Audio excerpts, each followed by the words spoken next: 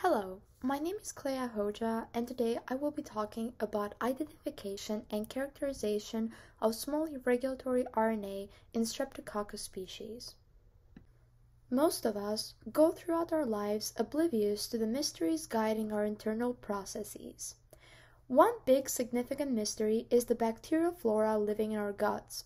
These bacteria impact our day to day life by directly interacting with our immune system, our metabolism, and sometimes even our neurological activity.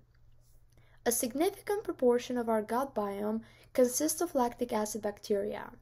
The focus of the study was on three lactic acid bacteria Streptococcus thermophilus, Lactobacillus bulgaricus, and Lactobacillus acidophilus. The metabolic functions of all bacteria are mediated by small regulatory RNAs. This is what fuels the purpose of this study, which is to identify and characterize the small regulatory RNAs that mediate bacterial metabolism and host interactions. Streptococcus thermophilus, along with other firmicutes like Lactobacillus acidophilus and Lactobacillus bulgaricus, are gut biome inhabitants that are essential for maintaining a healthy lifestyle. Streptococcus pyogenes, on the other hand, even though closely related to S. thermophilus, is an opportunistic bacteria that can cause strep throat and flesh-eating disease. Since they are such close relatives, a lot of the small regulatory RNAs that mediate bacterial functions in Streptococcus pyogenes can be found and studied in S. thermophilus. So in addition to being one of our closest companions, Streptococcus thermophilus can also be used to study more dangerous bacteria, like S. pyogenes. The central dogma of molecular biology was first proposed by Francis Crick in 1958 and is an explanation of the flow of the genetic information within a biological system. It is stated that DNA will get transcribed into coding RNA or mRNA, and mRNA will be translated and make proteins. However, not all RNA that gets transcribed codes for proteins. So, what happens to this so called non coding RNA? Non coding RNA will fold into complicated stem loop structures and mediate an organism's survival functions. Small regulatory RNA, or sRNA, is one of these non coding RNAs that plays such vital roles in an organism's lifespan. But how do these small RNAs play out their functions? Small RNAs can activate and inhibit the expression of different proteins in a cell, and they do so by using the same mechanism. They can bind to two different locations during the production of a protein. When they bind to nascent mRNA, as shown in green, they exhibit transcriptional regulation. When they bind to mature mRNA, as shown in purple, they regulate on the translational level. Transcriptional activation triggers the production of mature mRNA, which will then be translated into a protein and distributed throughout the body. Transcriptional inhibition, on the other hand, prevents the production of mature mRNA, so no proteins will be made. Translational activation, as shown in purple, triggers the binding of a ribosome to mature mRNA, thus leading to protein production. Translational inhibition however, prevents the trans- translation of mRNA to protein. This is going to prevent proteins from being made, and the sRNA will have played out its function. Since Streptococcus pyogenes and Streptococcus thermophilus are closely related, their genomes were searched for a conserved sRNA that played the function in both species. MAR-S, which stands for MGA activating regulatory sRNA, was located and identified in the genome of Streptococcus pyogenes. MAR-S is identified in the uh, regulation of several different virulence factors. The genome of S. thermophilus was then checked for the presence of a sequence that was ortholog to MAR-S. A sequence with 80% similarity was identified in S. thermophilus and was called ASDS. Figure 1 shows MAR-S and ASDS sequences obtained from two different strains of S. pyogenes and two different strains of S. thermophilus. The red boxes are highlighting the different conserved areas between the two different sequences.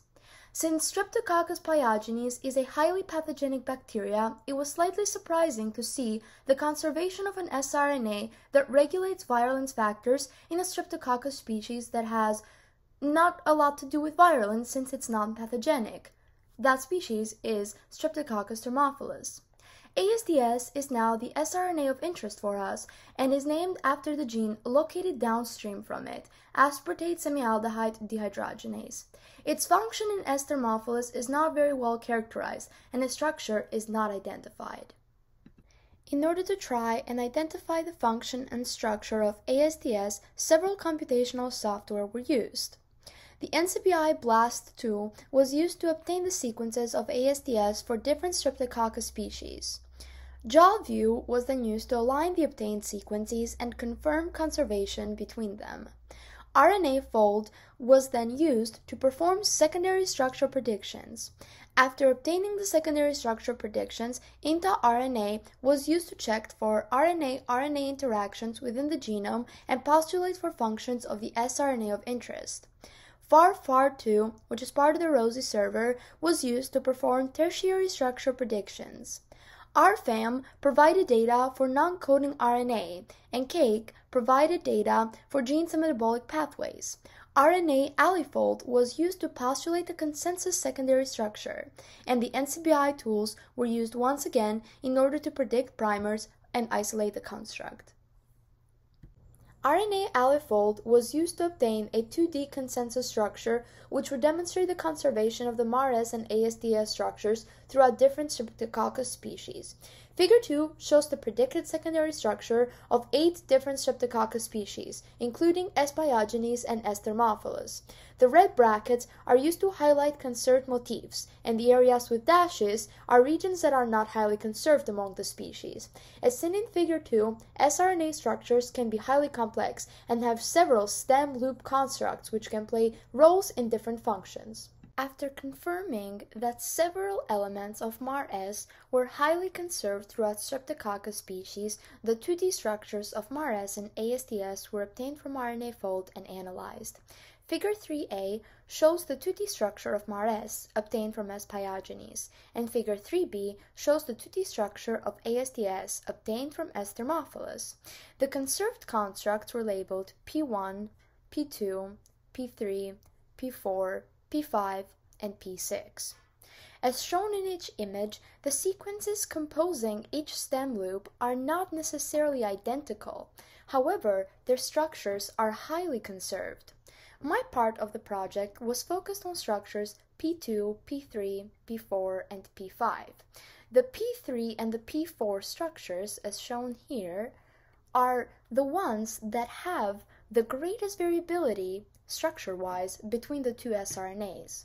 Since structure and function are highly entangled, this observation could propose that these constructs play distinctive functions in each species.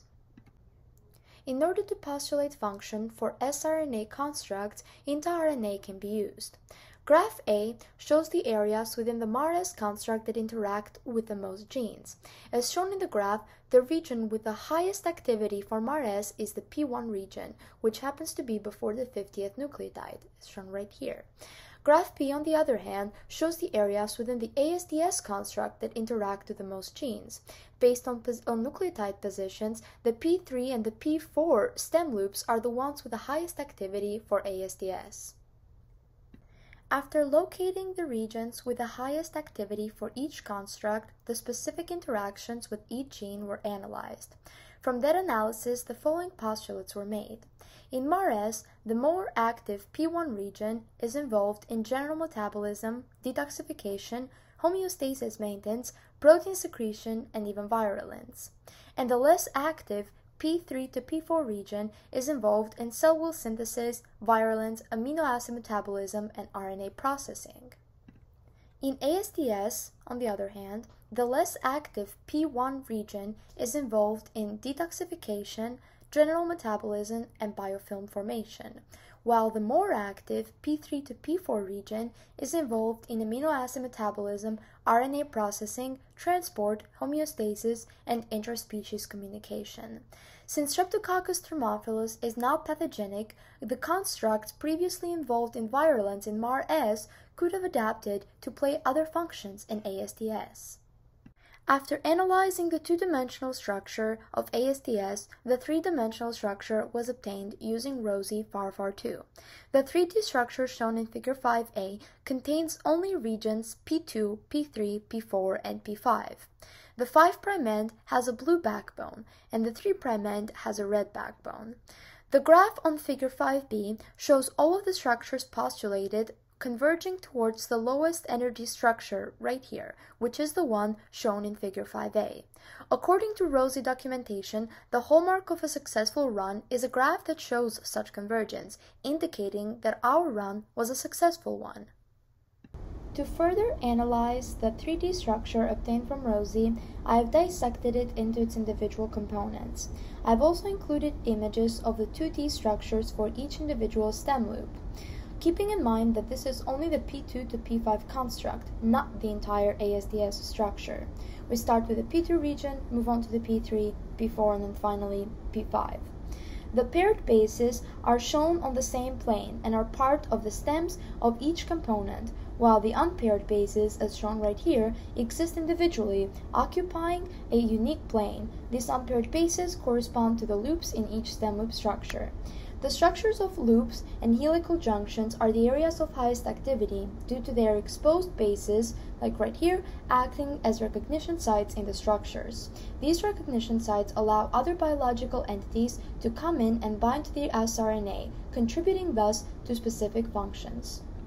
After obtaining the 2D and the 3D structures computationally, the following procedures were conducted in order to isolate ASDS from Streptococcus thermophilus. Initially, primers were designed in order to isolate each of the components of ASDS as well as the overall structure. After successfully growing Streptococcus thermophilus and other lactic acid bacteria anaerobically at 37 degrees Celsius, their DNA was extracted and isolated.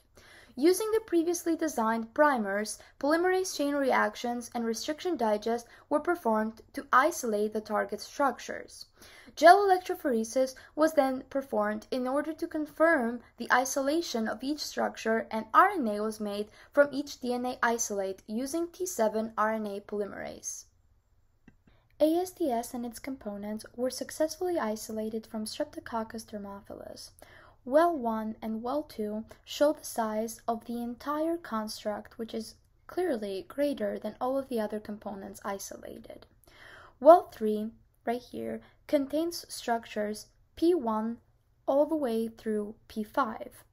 Well 4, uh, which contains the isolate that I was interested in, contains structures P2, P3, P4, and P5.